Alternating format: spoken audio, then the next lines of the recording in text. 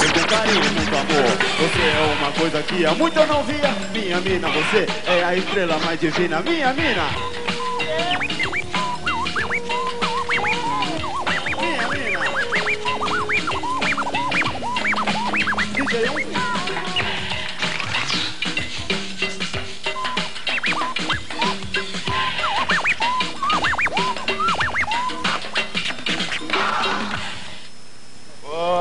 Vida.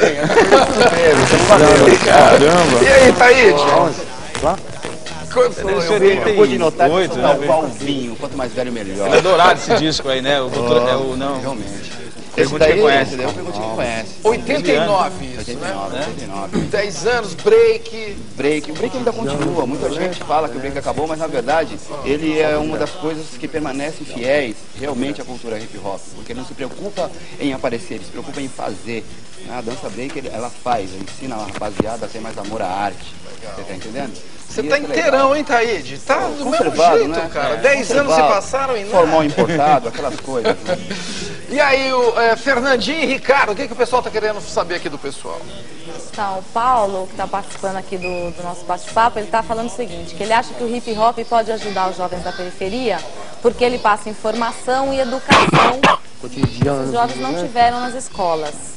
Mas ele diz que infelizmente o hip hop tem um alcance limitado, que entre milhares, só alguns vão deixar a marginalidade por causa disso. E a Daniela quer saber se o hip hop pode levar um movimento político. Por exemplo, é, ao invés do- da periferia se organizar para o tráfico, se organizar para uma, uma revolta aí, para uma revolução civil. Bom, vou começar pela segunda, que é o seguinte, a- esse lance de se organizar para o tráfico e não se organizar para uma liberdade civil, vamos dizer assim, é meio, é meio complicado, porque quem organiza o tráfico não são os jovens da periferia. E na maioria das vezes são pessoas de fora da periferia. São pessoas que como dizem aí a gíria antiga, os grandes tubarões. São pessoas que têm livre acesso nas alfândegas, são pessoas que têm livre acesso no plenário, são pessoas que andam em carros blindados, são as pessoas que não vivem lá.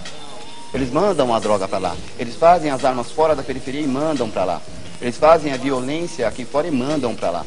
Então a coisa não é organizada lá, né? É organizada lá fora e é desenvolvida lá dentro, o que se deve deixar bem nítido. Agora, o lance da, da primeira, que é, é, é um, chega num campo meio limitado, a cultura hip hop, eu concordo, chega num campo limitado sim. Porque nós não temos os meios de comunicação da maneira que deveria ter.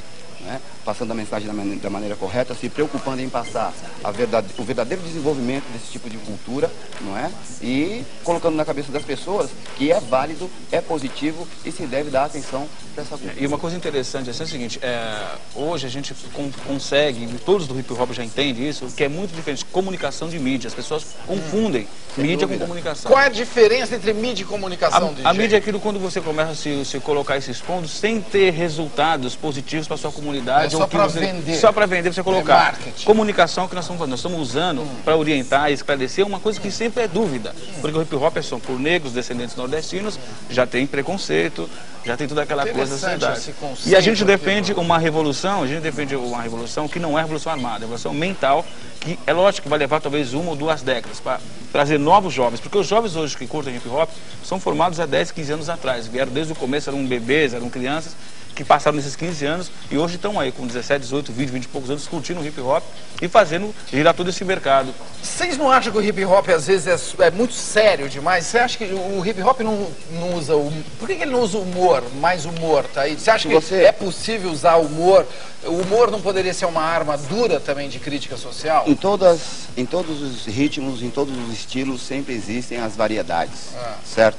Você vê o rock, você vê o, o reggae, é tudo a mesma coisa, sempre tem o engraçado, sempre tem o sério.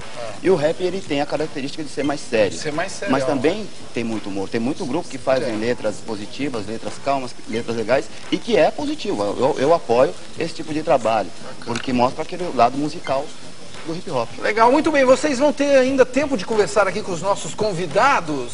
Nós vamos para o intervalo ao som de Dexter agora e também com imagens da videoinstalação produzida pelo artista Tadeu Jungle, que está estreando, e também pelo compositor Carlos que está estreando amanhã na feira de Hannover, a Expo 2000 na Alemanha. A gente volta daqui a pouquinho. Até mais.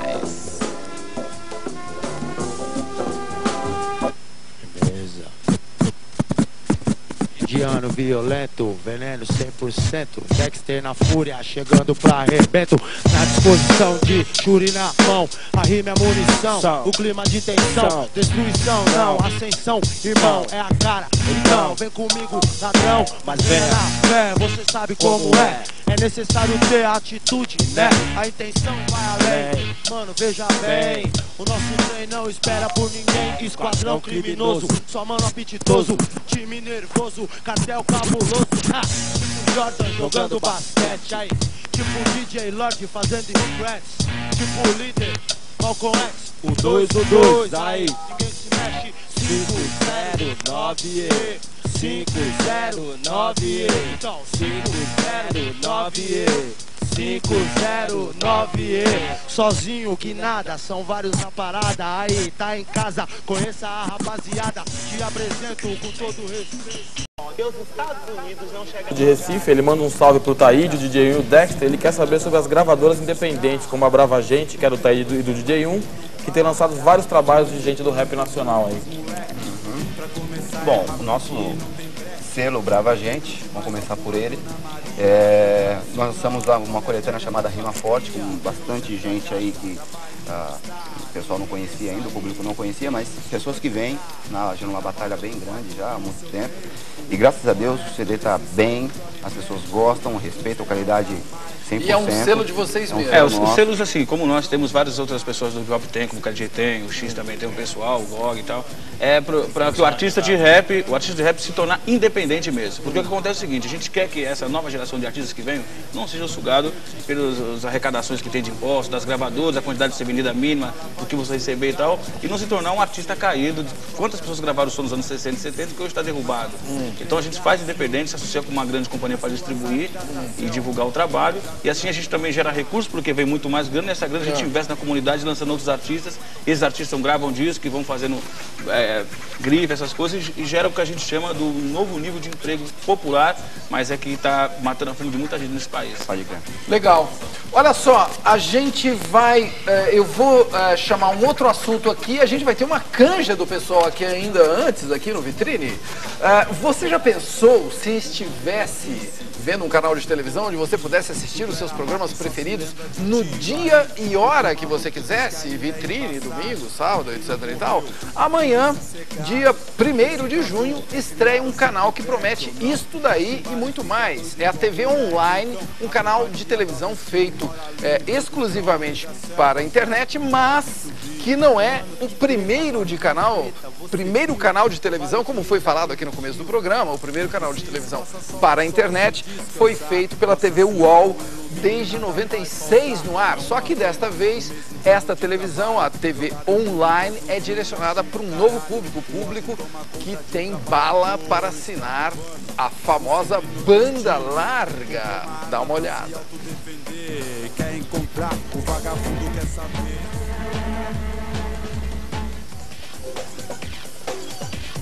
Desde as primeiras transmissões de televisão nas décadas de 20 e 30, muito se especulou a respeito da nova telinha que imediatamente conquistou lares em todo o mundo.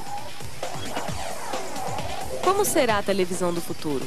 Será que a TV vai se juntar ao computador? O telespectador vai poder montar sua própria programação? Hoje já é possível ter algumas respostas para as nossas dúvidas. Uma nova televisão está pintando por aí e, pelo jeito, vai mudar o nosso modo de ver TV. É a primeira televisão em broadband, em banda larga da internet brasileira. Ela junta a televisão com o texto, com a foto, é imagem, é áudio, é texto, ela é multimídia. Asterix e Obelix contra César. Os heróis dos quadrinhos já podem ser vistos na telona. A TV Online foi construída para banda larga, uma internet ágil, de alta velocidade. A TV Online traz o melhor da cultura.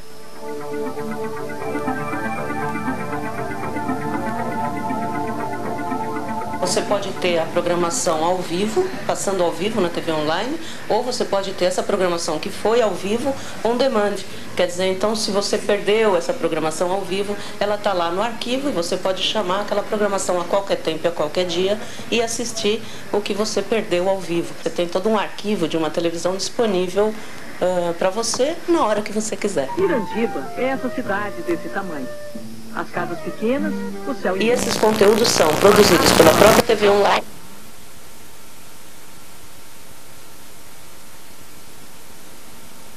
Cultura, na área de notícias, com, com jornalismo, uh, a STV, antiga TV Senac, na área de educação, uh, a Patagon, na área de negócios, a Escola Paulista de Medicina, na área de saúde, e assim a gente transforma esse conteúdo e adapta para a internet. Que, que é esse barulhão aí que tá falando? A TV online é de graça. Permitido receber visitas no quarto? Sim, é permitido. Para você que está na TV online, tem Gigantes do Ar do grupo Pia Fraude.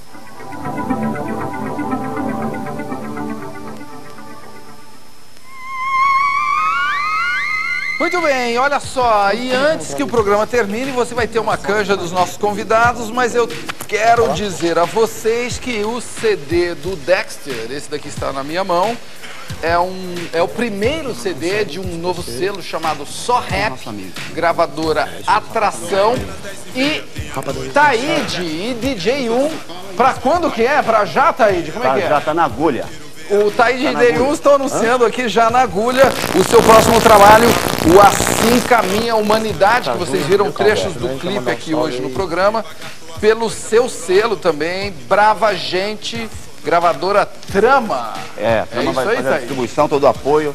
Pessoal, gente fina aí da Trama, muito obrigado pelo apoio. Estamos aí pro que deve é. Muito Vamos bem. Posso fazer contagem agressiva já, então? Lá. Nem precisa, vamos lá. Com vocês. Sem problema nenhum. Salve a todos os parceiros da casa de detenção, nossos amigos e pá. Sem dúvida certo? nenhuma. Aí, é nós na fita, Moro Taíde. Eu vou dizer um barato que é mais ou menos assim. improviso Vou tentar tá explicar, certo, conscientizar. O rap é isso, moro ladrão. E é assim que se faz, aí segura o som que é mais ou menos assim. Cocaína é pouco, o efeito aqui é outro. O RAP te deixa bem mais louco. Informação, autovalorização, pretos de periferia em ascensão. Alô, alô, força da favela, apresento a vocês cara que faz parte dela. Aí, maluco, presta atenção, Taíde chega mais, quebra tudo, irmão. Deixa comigo que eu vou de baixo pra cima, mandando esse improviso pra minha rapaziada da Academia Brasileira de Rima. Agora vou mandar um som que é mais ou menos assim. Se liga aí, porque aqui é hip hop até o fim. Tô aqui pra mandar uma banca, porque é o seguinte, eu tô aqui, não vou com um revólver na cintura, mas aumento a Ah. bronca. Porque Ah. meu improviso é assim, eu chego do começo ao fim. Eu não tenho nada decorado, porque eu sou assim mesmo. DJ, o meu irmão, tá ali no canto tomando água. Ele tá olhando pra mim dando risada porque não está com mágoa.